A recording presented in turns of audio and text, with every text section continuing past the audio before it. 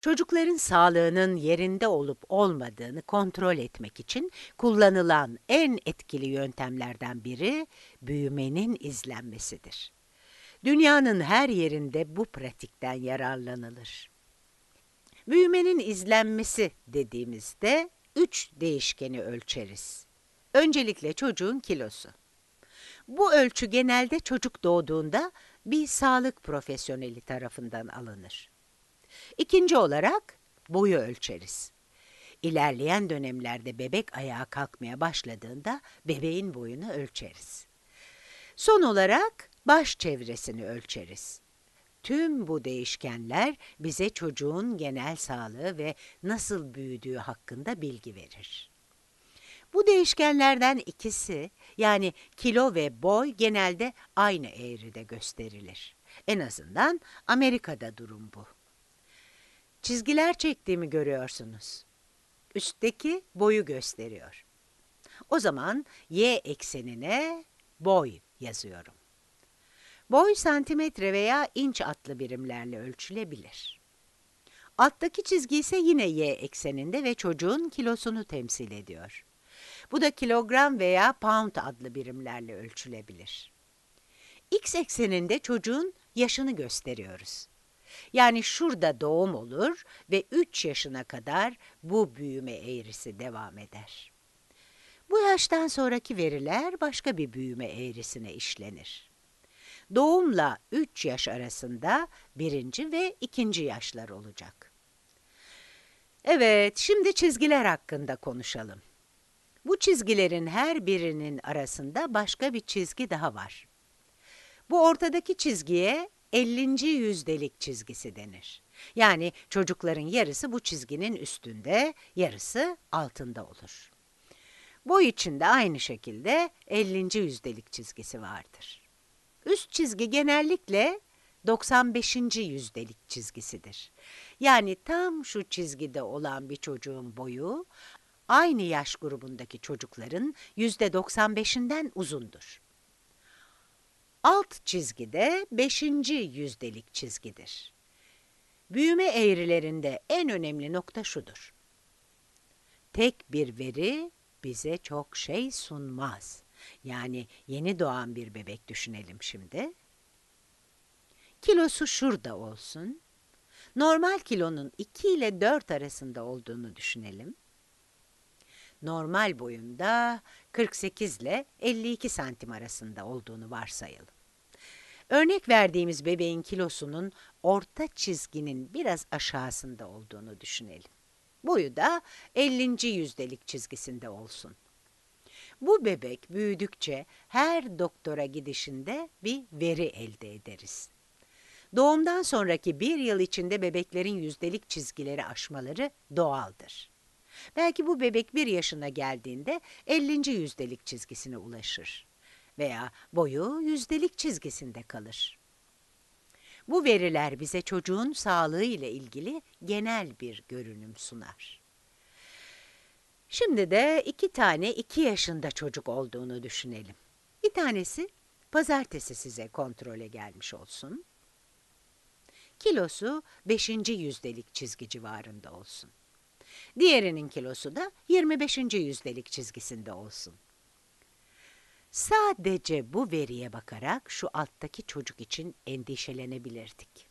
Çünkü kilosu en alt çizgide. Fakat bu çocuğun doğduğundan beri bu çizgide olduğunu söylesem, belki de bu çocuğun kilosunun az oluşu, anne babasının da zayıf insanlar olmasından kaynaklanıyor. Fakat çocuk sağlıklı.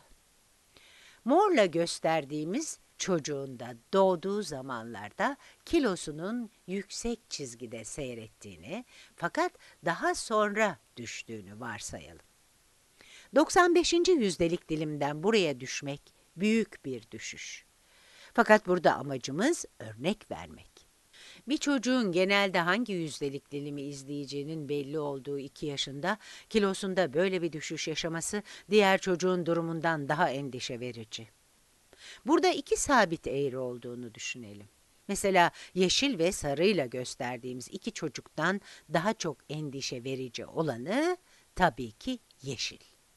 Yani bu eğri sabit olarak büyümesine rağmen 5. yüzdeliğin altında olduğu için durum kötü.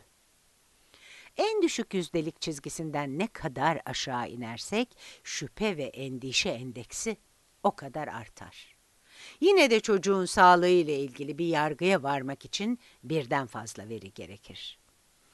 Buradaki diğer bir önemli noktada kilo düşüşünün akut bir gösterge olduğu. Yani kısa dönemde bir şeylerin yanlış gittiğini gösterir. Örneğin ishal böyle bir düşüşe sebep olabilir. Bir çocuğun boyu sadece uzun süreli kötü beslenmeden sonra kısalabilir.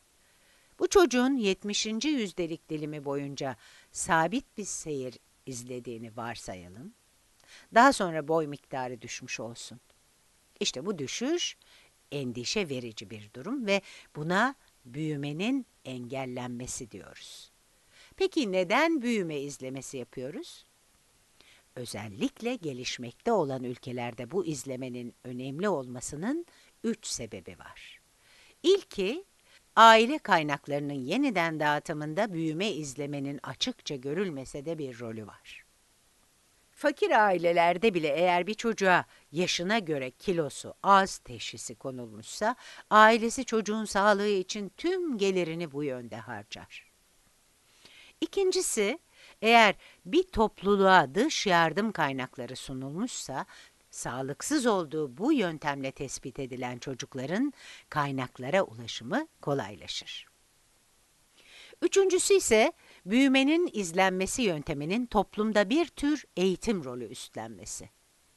Bu yöntemle anne babaların çocukla ilgilenen kimselerin doğru beslenmenin çocuğun sağlığı için ne kadar önemli olduğunu fark etmesi sağlanır. Burada önemli bir kavramdan bahsedeceğim şimdi. Büyüme geriliği. Bu kavram ekranda gördüğünüz büyüme izleme grafiklerinden birinde endişe verici bir izleyiş sergileyen çocuklar için kullanılır. Örneğin kilosu bir anda düşen veya büyümesi engellenmiş bir çocuk. Büyüme geriliği dediğimiz kavramı ikiye ayırıyoruz. Öncelikle organik büyüme geriliği. Bu da çocuğun fizyolojik olarak sorunlar yaşadığı, besinleri vücudunda kullanamadığı zaman gerçekleşir. Bunun sebebi besinleri sindirmekte veya emilimini yapmakta güçlük çekmeleri olabilir. Kısacası vücudun büyümesi için gerekli olan besinler dokulara geçemiyor. Diğer çeşit ise organik olmayan büyüme geriliği. Organik olmayan büyüme geriliğinin temel sebebi yoksulluk sebebiyle ortaya çıkan besinsizlik. Yani çocuk büyümesi için gerekli olan besin maddelerine erişemediği zaman gerçekleşen durum.